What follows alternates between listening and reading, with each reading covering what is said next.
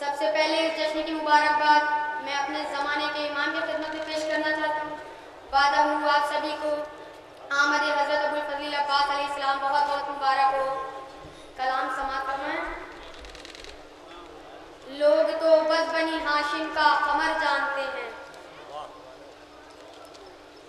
लोग तो